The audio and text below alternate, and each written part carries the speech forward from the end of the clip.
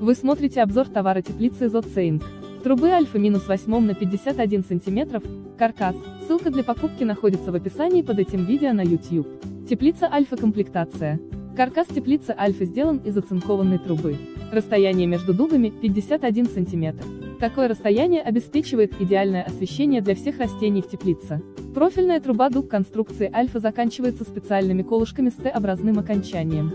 Если участок без уклонов и ям, то теплица из профильной трубы может быть установлена в грунт. Специальная стяжка дуг повышает прочность теплицы. Теплица из профильной трубы альфа выдерживает снеговую нагрузку в 70 кг, М2. Для теплиц серии альфа предлагается дополнительное усиление. Дополнительно к каждой дуге теплицы из профильной трубы можно докупить телескопическую опору. Телескопическая опора существенно повышает устойчивость теплицы из труб в зимний период. Телескопическая опора под каждую дугу увеличивает снеговую нагрузку для теплицы из профильной трубы с расстоянием между дуг 0,51 метров до 240 кг на М2. Покрытие для теплицы альфа – сотовый поликарбонат. Для удобства в комплекте есть саморезы для крепления поликарбоната.